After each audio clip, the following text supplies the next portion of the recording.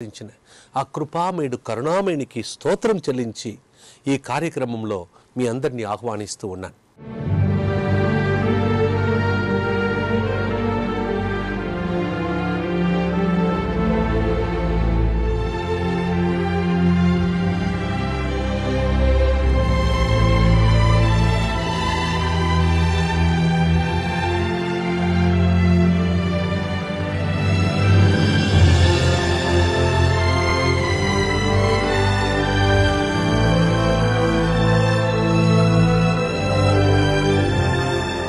ఈనాడు ధ్యానాంశం కోసం పునీత పేతురు గారు రాసిన లేఖ మొదటి లేఖ రెండవ అధ్యాయం తొమ్మిదవ వచనం నుండి మనం కొంతసేపు ధ్యానించుకుందాం.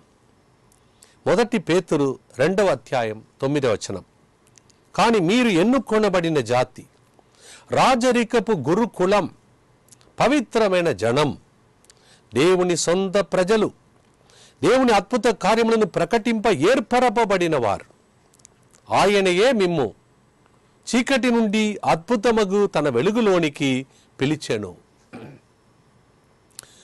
ఈ యొక్క ఒక్క వాక్కులో ఈ ఒక్క వాక్యంలో దేవుడు ఎన్నో సత్యములు మనకు నేర్పిస్తూ ఉన్నాడు. మొదటిగా మీరు ఎన్నుకొనబడిన జాతి. జాతి. ఈ రోజులో జాతి కులమని ప్రజలు కోట్లాడుకుంటున్నారు. కానీ వాళ్ళకి ఈ విలువ తెలిస్తే ఇక జాతి కులం అనే పేద భావాలు మన క్రైస్తవ సంఘంలో ఉండకూడదు. ఇవన్నీ సైతాను తీసుకుంటున్నటువంటి దుష్ట ప్రవాహం. మనమందరము ఒక్క జాతికి చెందిన వాళ్ళం. ఏ జాతి? ఎన్నుకొనబడిన జాతి. ఎన్నుకొనబడిన జాతి. ఒక్కసారి దేవుడు మనల్ని ఎన్నుకొన్నాడు అనుకుంటే మన మధ్యలో ఎటువంటి భేదభావాలు ఉండవు. ఒక్కసారి ఆలోచించండి. దేవుడే నన్ను ఎన్నుకొన్నాడు. ఒకసారి నీవు నీకు చెప్పుకోవాలి ఈరోజు. దేవుడు నన్ను ఎన్నుకొన్నాడు. గాడ్ హాస్ చోసన్ మీ అంటారు ఇంగ్లీష్లో. సెలెక్టెడ్ మీ దేవుడు నన్ను ఎన్నుకొన్నాడు. సంతోషం కలుగుతుందా లేదా? దేవుడు నన్ను ఎన్నుకొన్నాడు. పదిసార్లు లేచి ఉదయం లేచి చెప్పండి. దేవుడు నన్ను ఎన్నుకొన్నాడు. ఏదో గొప్ప కార్యం జరగాలని దేవుడు నన్ను ఎన్నుకొన్నాడు. ప్రియమైన సహోదరి సహోదరులారా లూకాస్ వార్తలో ఐదవ అధ్యాయంలో పన్నెండవ వచనంలో మనం చదువుతున్నాం ఒక కుష్ఠ రోగి దగ్గరికి వస్తాడు. అని చెప్తాడు ప్రభువా నీ చిత్తమైతే నన్ను శుద్ధి చేయమంటాడు. చిత్తమైతే ఇంగ్లీష్ బైబిల్లో if you choose me please clean me అంటాడు. చూసింగ్ అంటే ఎన్నుకుంటే నన్ను శుద్ధి చేయమంటాడు. అంటే ఆ పదమును ఎందుకు వాడుతున్నాడు? చూసింగ్ ఎన్నుకోవడం ఆ పదమును ఎందుకు వాడుతున్నాడు? తన జీవితంలో కుష్ఠరోగిని ఎవరు ఎన్నుకోరు?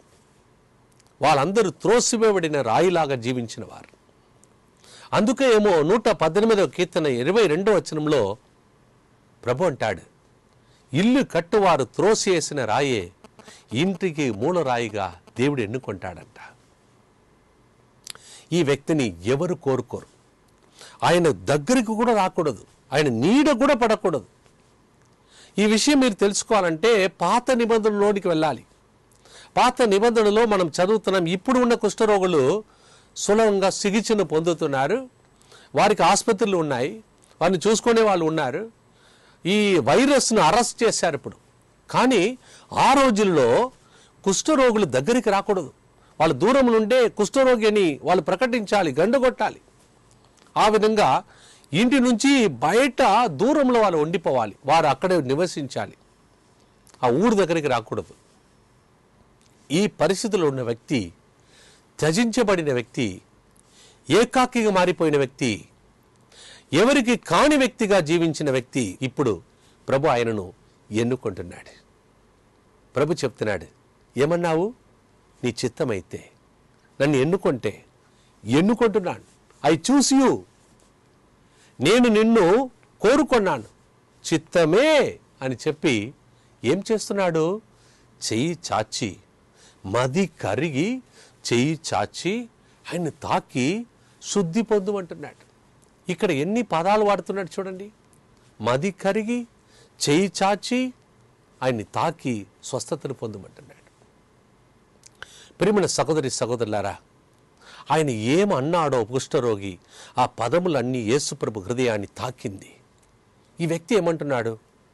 చిత్తమైతే ప్రభువా నీవు నన్ను స్వస్థపరచడానికి నీకు ఇష్టమైతే ఇంకొక స్టార్ట్ సెలక్షన్లో ఇష్టమైతే ఉండేది నాకు ఎవరు లేరండి? నా జీవితంలో నాకని ఎవరు లేరు? నన్ను ప్రేమించేవారు ఎవరు లేరని ఎంతమంది నశించిపోతున్నారు? కొందరు మానసిక బాధలకు గురి అవుతున్నారు. ఈ పరిస్థితిని వెల్లడి చూస్తున్నాడు కుష్ఠరోగి. ప్రభు చెప్తున్నాడు ఇష్టమే మది కరిగి చేయి చాచి తాకి స్వస్థతను పొందుతుండే చేస్తూ ఉన్నాడు. ఈరోజు మీలో కొంతమంది వాక్యాన్ని వింటున్నవారు దేవుడు నన్ను ఎన్నుకుంటాడా? నేను ఎవరికి కాని వ్యక్తిగా జీవిస్తున్నాను. నా జీవితమే బ్రతికే శూన్యముగా మారిపోయింది. అందుకే ఇలాంటి కృపా సత్యం కార్యక్రమం ద్వారా ప్రతి ప్రతి శుక్రవారం. శుక్రవారం ఎందుకు ఈ జరుగుతుందంటే శుక్రవారమే యేసుప్రభు మన కోసం అన్నిటినీ ప్రసాదించాడు. రక్తం చిందాడు ప్రాణం ఇచ్చాడు ఊపిరిని విడిచాడు త్యాగం చేశాడు. ఆ దినము కృపా సత్యం కార్యక్రమం ద్వారా నిన్ను బలపరచాలని ఈ వాక్కు ద్వారా ప్రభు చెప్తున్నాడు. ఏకాకిగా అనిపిస్తుందా? ఒంటరిగా అనిపిస్తుందా? నాకు ఎవరు లేరని పరిస్థితిలో ఉన్నావా? నేను ఉన్నాను భయపడకు. అందుకే ఒక మంచి పాట ఉంది. నేనే నిన్ను సృష్టించిన దైవం. నేనే నిన్ను రక్షించే దైవం. నేనే నీ కన్నీలు తుడచి నిన్ను నిరంతరం ఓదార్చు దైవం. భయపడకు నా బంగారు బిడ్డ నేనే నీ దేవుడేగా. ఏడవకు నా కంటి పాప నీతోనే ఉన్నానుగా. నేను నీతోనే ఉన్నానుగా. నేనే నిన్ను పాలించే దైవం. నేనే నిన్ను లాలించే దైవం. నేనే నీ కన్నీలు తుడచి నిన్ను నిరంతరం ఓదార్చు దైవం. సృష్టించిన దేవుడు నీతో చెప్తున్నాడు నా ఊపిరిలు నీలో ఉన్నది నీవు నాకు చెందినవాడవు. యెషయా గ్రంథం నలభై మూడవ అధ్యాయం నాలుగవ వచనం చదవండి. నీవు నా దృష్టిలో అమూల్యమైన వాడవు. అందరి దృష్టిలో పనికిరాని వ్యక్తి కావచ్చు. అందరి దృష్టిలో నీవు నల్లగా ఉన్నావని పొట్టిగా ఉన్నావని నిన్ను ఎవరు కోరుకోలేదు. కావచ్చు. కానీ నేను నిన్ను ఎన్నుకున్నాను. కొన్ని సంవత్సరాల ముందు ఒక అమ్మాయి నా దగ్గరికి వచ్చి ఇలా చెప్పింది స్వామి నేను నల్లగా ఉన్నాను కావున నాకు పెళ్ళే కాదన్నది. నేను చెప్పాను అట్లే అవునుగాక అని చెప్పాను. అప్పుడు ఆ అమ్మాయి నాతో ఫాదర్ మీ దగ్గర వచ్చిన దానికి కారణం ఏంటంటే నాకు పెళ్ళి కావాలని ప్రార్థన చేస్తారంటే మీరు కూడా అట్లే అవునుగాక అంటున్నారు. చెప్పానమ్మా నీవు చూసే విధానం మారాలి. నీవు మాట్లాడే విధానం మారాలి. దేవుడు నిన్ను ఎట్లా చూస్తున్నాడు తెలుసా? నీవు అందమైన వ్యక్తివి. దేవుని దృష్టిలో నీకు విలువ ఉందమ్మా. నీవు విలువైన వ్యక్తివి అమూల్యమైన వ్యక్తివి. ప్రతిరోజు ఉదయం లేవగానే నేను అందమైన వ్యక్తి దేవుడు నాకు తప్పనిసరిగా నా పెళ్ళి చే చేస్తాడు తప్పనిసరిగా నా పెళ్ళి అయిపోతుందని నీవు ప్రతిరోజు నీవు వందనాలు చెప్పాలి. ఇది జరిగినది ఆగస్ట్ నెలలో. మళ్ళా ఇంగ్లీష్ ఉడకంలో పాల్గొన్న అమ్మాయి మళ్ళీ నెక్స్ట్ నెలలో ఉడకానికి వచ్చింది ముత్తంగిలో. ఇప్పుడు కూడా అదే ముత్తంగిలో నేను ఉన్నది మీకు తెలుసు. ఉడకాలు జరుగుతున్నాయి. రెండో వారంలో ఇంగ్లీషులో నాలుగో వారంలో తెలుగులో జరుగుతున్న ఉడకంలో ఆమె పాల్గొన్నది. నెక్స్ట్ నెలలో మళ్ళా నెక్స్ట్ నెలలో ఆమె వచ్చింది. సంతోషముతో చిరునవ్వుతో నా రూమ్కి వచ్చింది. చూసి అడిగాను అమ్మా ఎందుకు ఇంత సంతోషం అంటే? నా ఎంగేజ్మెంట్ అయిపోయింది ఫాదర్ అండి చూసారా? ఒక్క నెలలో ఆమె చూపు మారింది. దేవుడు చూసినట్టు చూసింది. దేవుడు ఆమెను ఎన్నుకున్నాడు? ఆమెకి ఎలాంటి భర్తనిచ్చాడు తెలుసా? సువార్తను బోధిస్తున్నటువంటి ఈ లోకమునకు చెందినటువంటి ఒక వ్యక్తిని ఆమెకి ఇచ్చాడు ఇప్పుడు వాళ్ళిద్దరు కలిసి సేవ చేస్తున్నారు. ప్రియమైన సహోదరి సహోదరులారా నీవు ఎన్నుకొనబడిన జాతి. దేవుడు నిన్ను ఎన్నుకొని ఏదో గొప్ప కార్యం చేయాలని దేవుడు నిన్ను పేరు పెట్టి పిలిచాడు. యశయా గ్రంథంలో నలభై తొమ్మిదవ అత్యంలో అరగారు వచనంలో మనం చదువుతున్నాం. నేను నీ పేరును నా అరచేతిలో రాసుకున్నాను. నాకు అప్పుడప్పుడు అనిపిస్తుంది అరచేతులు ఎందుకు రాసుకోవాలి? ప్రతిరోజు చూస్తాడు నా కుమారుడు సిరిల్ ఇప్పుడు వాక్యం చెప్తూ ఉన్నాడు. తర్వాత ఇంటికి వెళ్ళి అక్కడ ఇంగ్లీష్ వడకంలో వాక్యం చెప్పాలి. తర్వాత ఇంకొక చోటుకు వెళ్ళి వాక్యం చెప్పాలి. నా నా దేవుని దృష్టిలో ఆయన అరచేతిలో నన్ను రాసుకొని భద్రంగా కాపాడుతాడు. నువ్వు ఎన్నుకొనబడిన జాతి నీకు విలువ ఉన్నది. భయపడకంటున్నాడు. ప్రియమైన సహోదరి సహోదరులారా ఎన్నుకొనబడిన జాతి అనే విషయం గురించి ఈ మొదటి విషయం విన్నాం. కొంతసేపు మనం విశ్రాంతి తీసుకొని బ్రేక్ తర్వాత మళ్ళీ ఈ విషయాన్ని లోతుగా ధ్యానిస్తాం.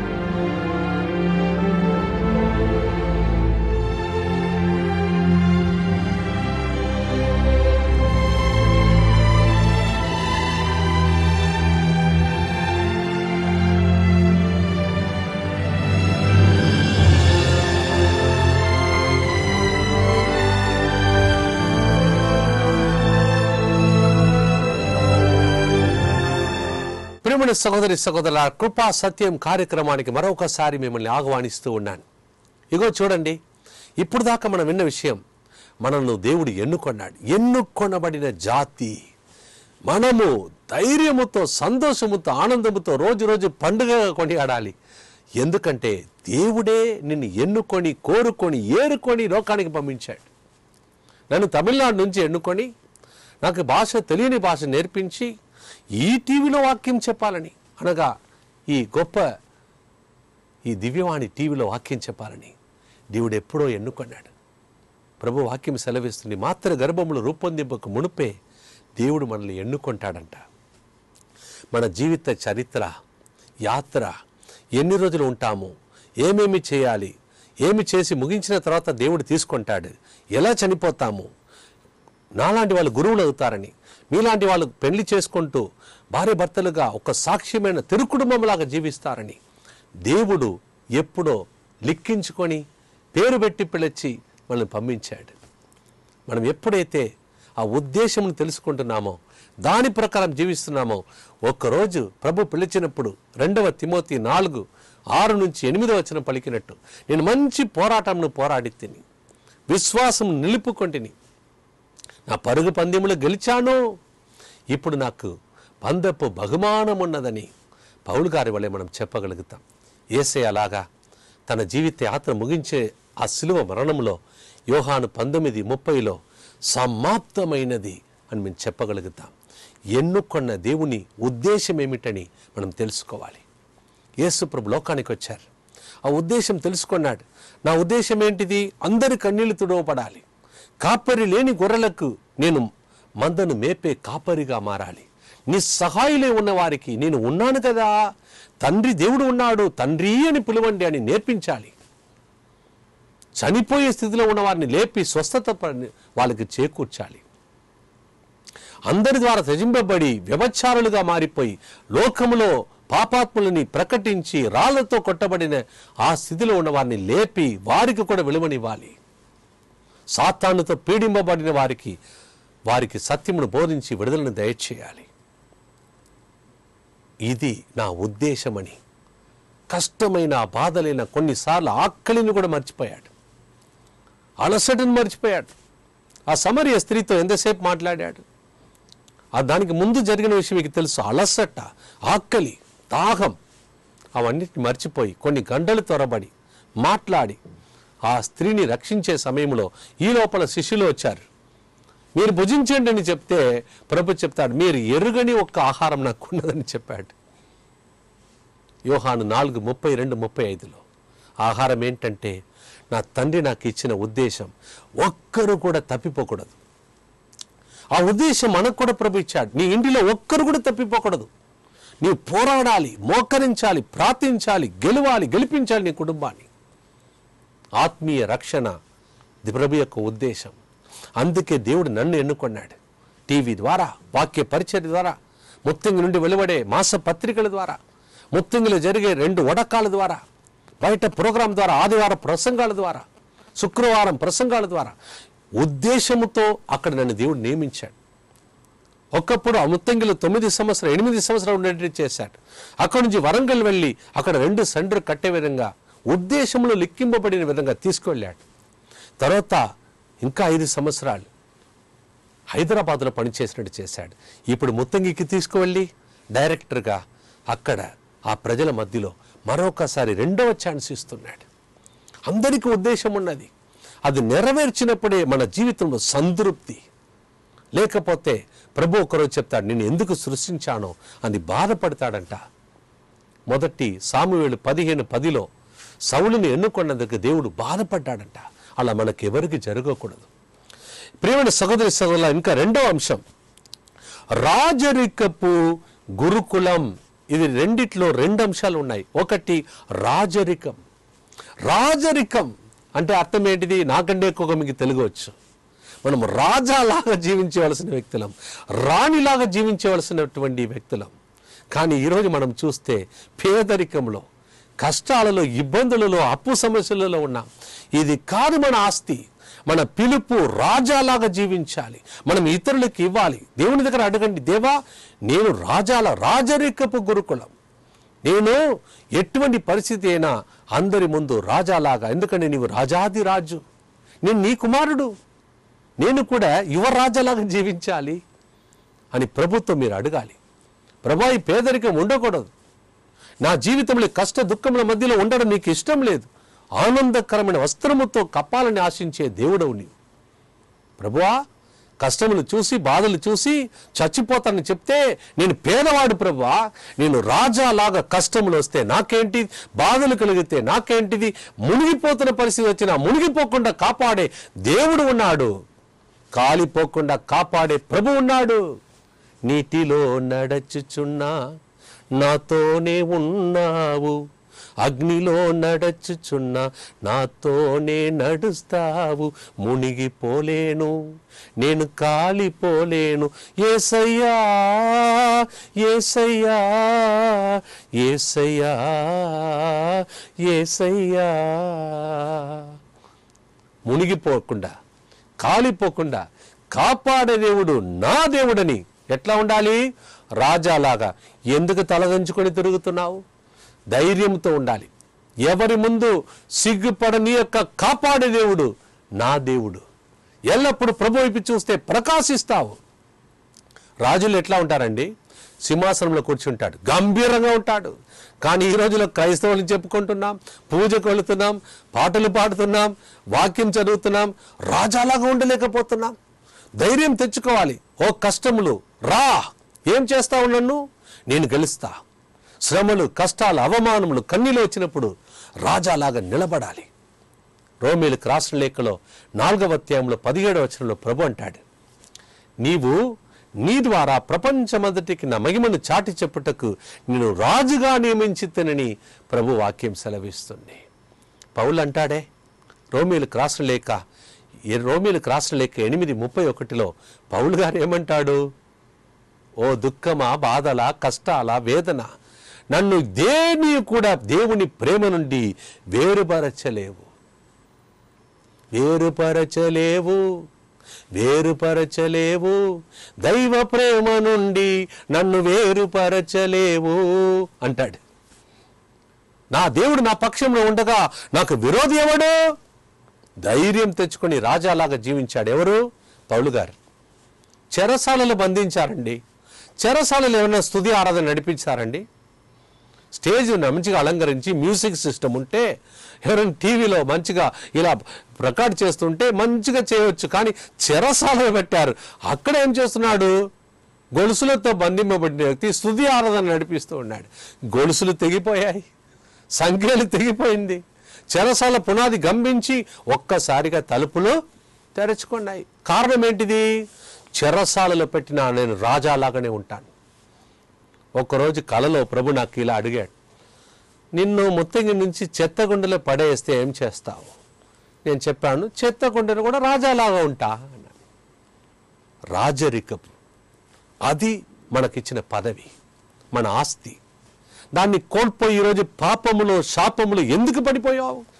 ప్రభు ఏడ్చాడు ఆదాం అవ్వని చూసి ఆదాం ఎక్కడ ఉన్నావు? వెతుకుతున్నాడు. ఈరోజు ప్రభు చెప్తున్నాడు రాజాలాగా జీవించి రా. ఒకరు పడిపోయినా పర్వాలేదు. మరొకసారి నేను కడిగి శుద్ధి చేసి నీకు నూతన ఉంగురమునిచ్చి నూతన బట్టలు ఇచ్చి నీకోసం దూడను నేను తవ్వి నేను కోసి విందుని తయారు చేస్తాను. లోపలికి రా. బయట ఎందుకు నిలబడుతున్నావు? తప్పిపోయిన కుమార్ లోపలికి వచ్చినప్పుడు రాజాలాగా అలంకరించబడ్డాడు. పాపంలో ఉన్నావా? ప్రభు ఆహ్వానిస్తున్నాడు. రాజాలాగా జీవించవలసిన తాగబోతుగా మారిపోయావు. చెడు అలవాట్లలో ఉన్నావు. చెడు సినిమాలు చూస్తున్నావు. విభచారంలో నిచ్చిక్కుకొని ఉన్నావు. రాజాలాగా నీవెవరికి చెందిన వ్యక్తివి? వెలనిచ్చి కొనుక్కున్నాను నిన్ను. బయటికి రా. నా దగ్గరికి రా. నిన్ను మళ్ళీ ఒకసారి నూతన వస్త్రం ఇచ్చి అలంకరిస్తాను.